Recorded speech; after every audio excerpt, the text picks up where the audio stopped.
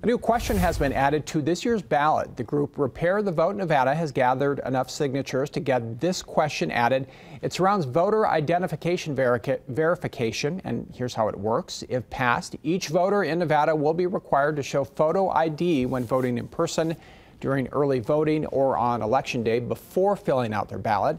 Accepted forms of ID will include a Nevada driver's license, Nevada ID, employee photo ID if issued by a federal, state, or local government entity, U.S. passport, U.S. military ID, student ID card issued by a Nevada college or tribal photo ID, or a Nevada concealed firearms permit.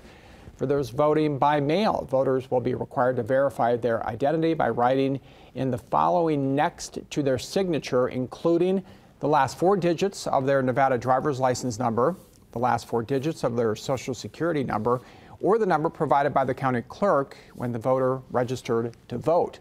The group needed to collect at least 25,500 signatures. It collected more than 131,000 statewide.